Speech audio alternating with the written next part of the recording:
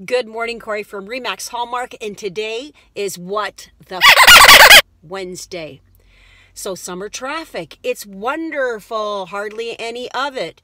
Except now it seems that every single bonehead moron driver that got their license out of a Cracker Jack box is on the road.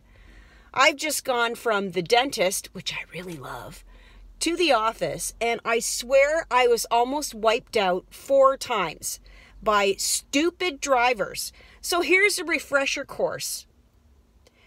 To the guy who does, I don't know, 40 kilometers an hour in the fast lane on the Gardiner, This is a rear view mirror.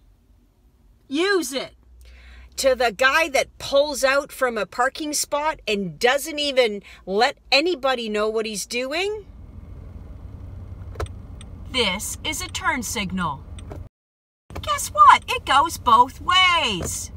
Believe it or not, every single car comes with turn signals. So tell me, what is your nightmare in traffic? Is it the congestion? Is it the stupidity? And maybe what's the stupidest thing you've ever seen happen on the road? Share away, and we'll see you tomorrow.